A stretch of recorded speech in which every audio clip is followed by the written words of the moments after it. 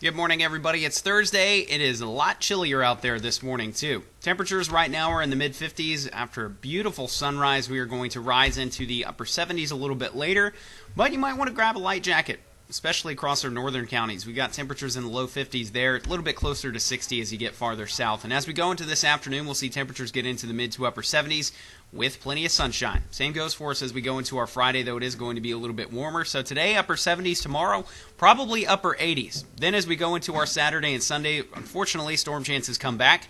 As we uh, go into Saturday afternoon, especially, there is a potential for an isolated severe storm. Better chance of widespread heavy rainfall comes on Sunday.